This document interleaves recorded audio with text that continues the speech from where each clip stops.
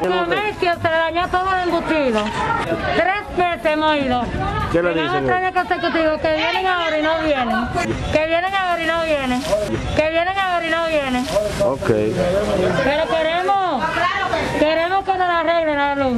No tenemos ningún problema si nos la arreglan. Nosotros estamos aquí, estamos, tenemos tres días sin, sin recibir luz, entonces solamente esta calle, con un problemita que tiene un alambre y hemos ido allá, ahí de noche, ellos dicen que lo vienen a reparar y si viene un camión y no le hace nada, sim- simplemente se van y que porque supuestamente no- allá no le han dado la orden y volvamos, subamos allá y que la orden está y nos tienen de aquí para allá y de allá para acá y sin darnos ninguna respuesta ni nada. Nos vimos en la obligación de tener que hacer este llamado a protesta, la cual sí quemamos goma, pero lo hicimos pacíficamente. Ellos ahora mismo nos dijeron que vienen un rato a reparar, estamos, estamos esperando por, por eso.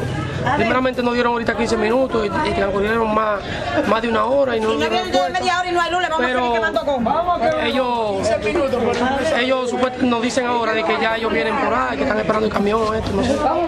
No, en caso de que no se resuelva, seguiremos con la protesta y vamos a arrancar los, los contadores y se los vamos a llevar allá. No, en caso de que no se resuelva, seguiremos con la protesta y vamos a arrancar los, los contadores y se los vamos a llevar allá.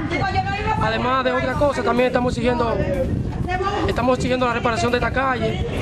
Eh, Esta es una calle que no es muy amplia y está demasiado deteriorada esta calle. Y queremos que nos la reparen esta calle. Y un hoyo que hay frente, al puente del Club Rodrigo Cervantes, hay un hoyo ahí que se han caído varios motoristas, eh, pasoleros se han caído ahí. Un, un hoyo que está comiendo. Queremos que nos reparen eso.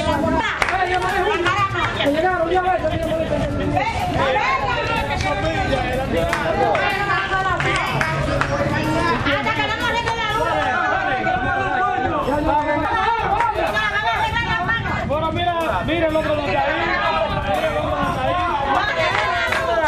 va a haber candela, si no arreglan la luz. Aquí va a haber candela.